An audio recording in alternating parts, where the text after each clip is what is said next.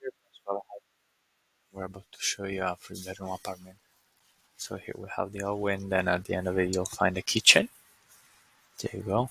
Right here there's the living full of plants and we have a dining table, sofa, big mirror and the access to a balcony